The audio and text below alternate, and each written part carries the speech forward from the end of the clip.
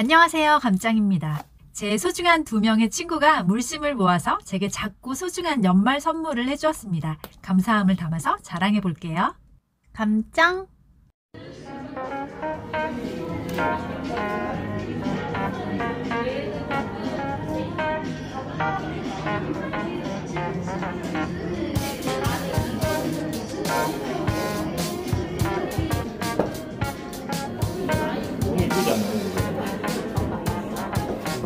아니 제가 원하는 대로 해주는 게 아니고 그냥 그거 가져가야 되는 거예요?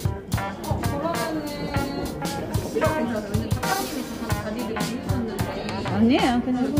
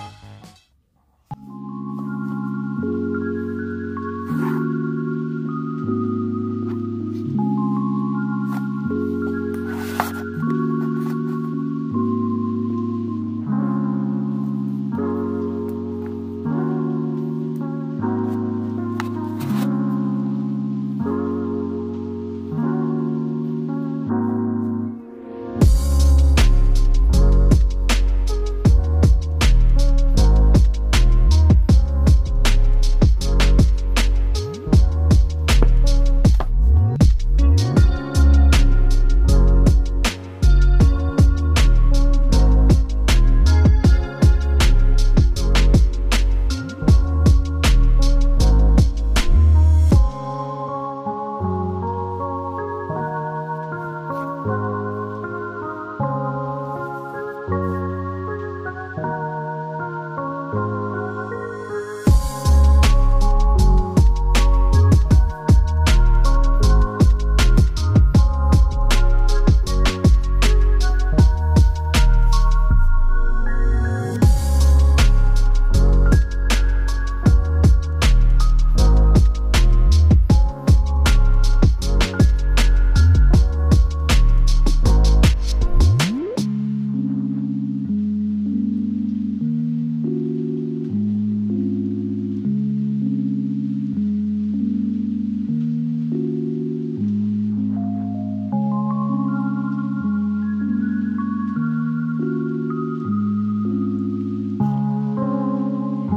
좋아요 부탁드릴게요.